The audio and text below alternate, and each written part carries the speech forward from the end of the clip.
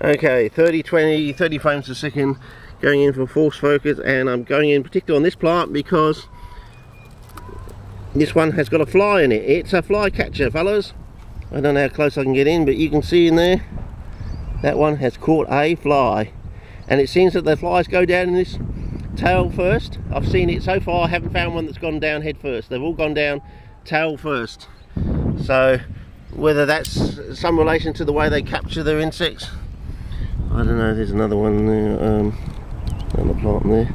But if I find another fly, but the odds are we won't because, you know, usually there's about 3,000 plants up there, you know, and there's only, what, a couple of hundred here, so, you know, we've got a, a 1 in 10 chance of finding what we normally get at this site in normal years, sort of thing. Anyway, it's probably all out of focus, so quickly, oh, I'll just close in on this plant just for fun. I don't know how close we can get down.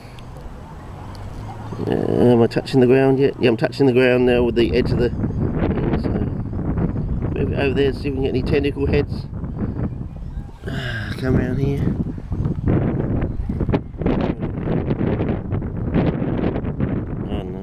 Anyway, that's 320 and we'll pick another another plant and we'll try the 60 frames a second see if there's any difference. Okay, over and out. Oh, don't forget, remind me to get my uh, wide angle. Don't let me leave it out in the bush like I did one year. I think it was last year or the year before. Okay, over and out.